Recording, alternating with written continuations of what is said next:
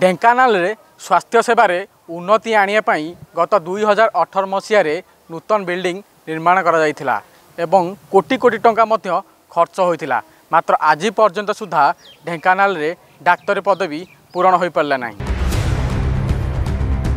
ଢେଙ୍କାନାଳରେ ବିପର୍ଯ୍ୟସ୍ତ ସ୍ୱାସ୍ଥ୍ୟସେବା ଉପର ଚକାଚକ ଭିତର ଫମ୍ପା।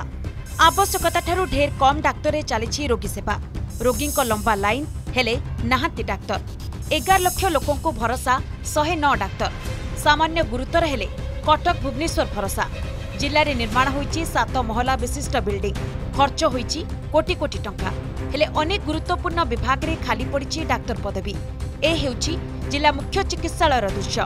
ରୋଗୀଙ୍କ ସଂଖ୍ୟା ଢେର ଅଧିକ ଥିବାବେଳେ କିନ୍ତୁ ଡାକ୍ତରଙ୍କ ସଂଖ୍ୟା ଖୁବ୍ କମ୍। ଫଳରେ ହନ୍ତସନ୍ତ ହେଉଛନ୍ତି ରୋଗୀ। ସରକାର ବହୁତ କଥା ଶୁଣୁଛନ୍ତି କିନ୍ତୁ ଏଥିପ୍ରତି ଟିକେ ଦୃଷ୍ଟି ଦେଉନାହାନ୍ତି। ଏତେ ବଡ଼ ହସ୍ପିଟାଲ କଲେ ଏଠି ଦୃଷ୍ଟି ଦେବା କଥା ନିହାତି ଯେତିକି ବର୍ତ୍ତମାନ ଡେଭଲପ୍ କରିଛି ଆଗ ଅପେକ୍ଷା। ତେଣୁ ଏଠି ମେନ୍ ସମସ୍ୟା ହେଉଛି ଡାକ୍ତର ଆଉ ଟେକ୍ନିସିଆନର ସମସ୍ୟା। କିନ୍ତୁ ବହୁତ ପରିମାଣରେ ଅଛି ଯେଉଁଟାକି ମାନେ କହି ହେଉନି କି ସହି ହେଉନି। ଢେଙ୍କାନାଳ ମେଡ଼ିକାଲଟା ଗୋଟେ ରେଫର ହସ୍ପିଟାଲରେ ସର୍ବବିଦିତ। ଆମର ବାଚୁକି ପାଖରେ ଯେଉଁ ପୁରୁଣା ହସ୍ପିଟାଲ ଥିଲା ସାଧାରଣ ଜନତା ଯାଇକରି ସେଠି ତାଗିଦ କରୁଥିଲେ ମୁରବୀମାନେ ଦେଖାରେଖା କରୁଥିଲେ ସେଥିରେ ସେମାନେ କିଛି ଲୋକ ଟ୍ରିଟମେଣ୍ଟ ପାଉଥିଲେ।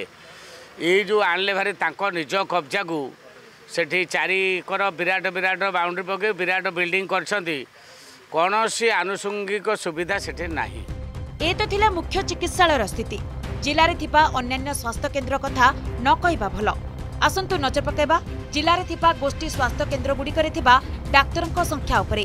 ହିନ୍ଦୋଳ ସବ୍ଡିଭିଜନାଲ ମେଡିକାଲରେ ବାରଟି ପଦବୀ ଫାଙ୍କା ଥିବାବେଳେ କାମାକ୍ଷାନଗରରେ ତିନୋଟି ପଦବୀ ଫାଙ୍କା ପଡ଼ିଛି।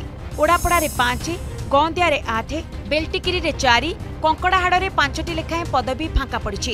ଅନେକ ସମୟରେ ରୋଗୀ ସେବାର ବିକଳ ଚିତ୍ର ସାମ୍ନାକୁ ଆସୁଥିବା ବେଳେ କେବେ ସ୍ଥିତି ସୁଧୁରିବ ତାହା ଉପରେ ସମସ୍ତଙ୍କ ନଜର। ବାଇଶ ବର୍ଷ ବିଜେଡ଼ି ସରକାରରେ ସବୁବେଳେ ଆମେ ଗତ ବାଇଶ ବର୍ଷ ହେଲା ସରକାର ଦଳକୁ ଭୋଟ ଦେଇ ଆସିଛୁ ବିଧାୟକମାନେ କେବଳ ଭୋଟ ପାଉଛନ୍ତି ସେ ତାଙ୍କର ଖାଲି ବିଧାନସଭାରେ ଭାଗ ନେଉଛନ୍ତି କିନ୍ତୁ ସ୍ୱାସ୍ଥ୍ୟ ବିଭାଗ ସମସ୍ୟା ସମ୍ପର୍କରେ କେବେ ପ୍ରଶ୍ନ ଉଠାନ୍ତି ନାହିଁ। ଆଉ ବିରୋଧୀ ଦଳ କଥା ନ କହିବା ଭଲ। ବିରୋଧୀ ଦଳ ଏଠି ଥାଇ ନଥିଲା ପରି। ପୂର୍ବରୁ ବିଭିନ୍ନ ରାଜନୈତିକ ଦଳ କିମ୍ବା ସାମାଜିକ ଅନୁଷ୍ଠାନ କଥା କୁହନ୍ତୁ।